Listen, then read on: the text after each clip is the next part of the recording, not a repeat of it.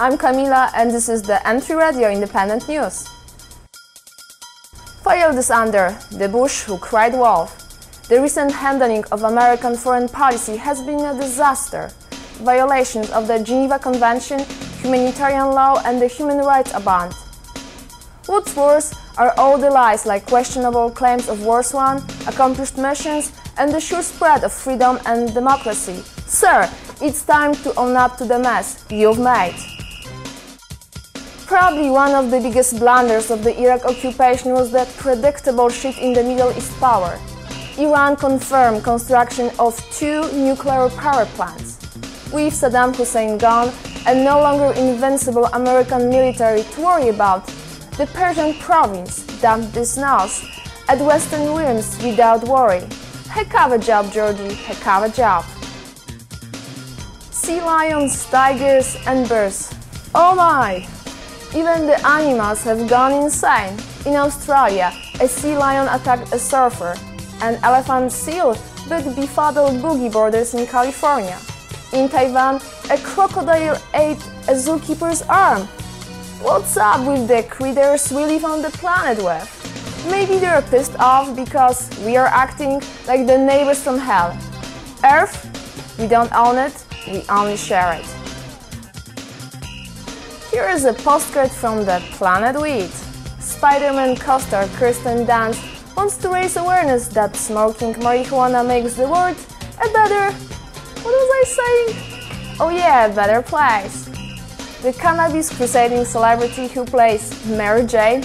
No, this is not a joke. In the blockbuster series claims, weed is wonderful.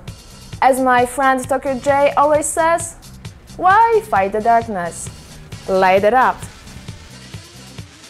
Size is not enough. As we first saw in Vietnam and now in the Middle East, the big guy doesn't always win. Even in the boxing ring, a much smaller Ruslan Chagayev beat the 7-foot Nikolai Valuev for the heavyweight title. As guys know, size matters but just not in the way you guys think. Now, boys and girls, get your mind out of the gutter and listen to the next story.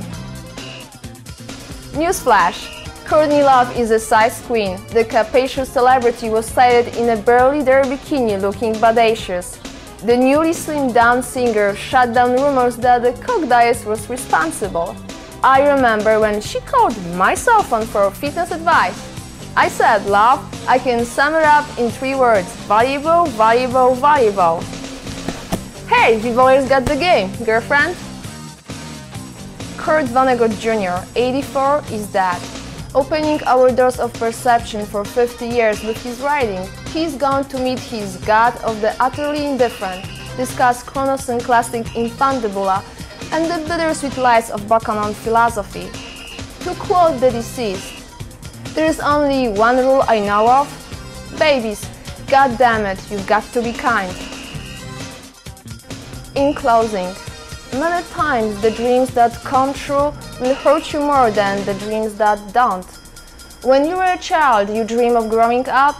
Teens dream of the day they will leave home, get a job, and or go to college.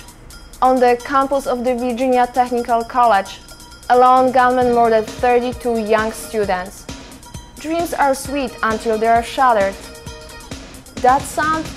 My heart is breaking. So it goes, trzymajcie się. I'm Camila and I just gave you the M3 Radio Independent News.